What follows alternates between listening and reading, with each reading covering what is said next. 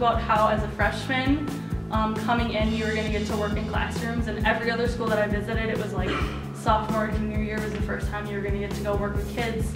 I think Stevens Point is about focus on people and about relationships and about helping people succeed. I think there's a lot of compassion, I think there's a lot of community, and I think that there's a lot of caring.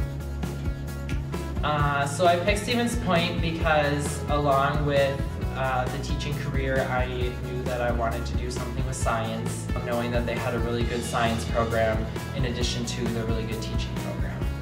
I knew that Stevens Point was founded on education and I really liked how it was rooted within the build, like the system. The strength of the academic side of our program with the strength of our dispositional side of our program, I think builds the best teacher we can put out there.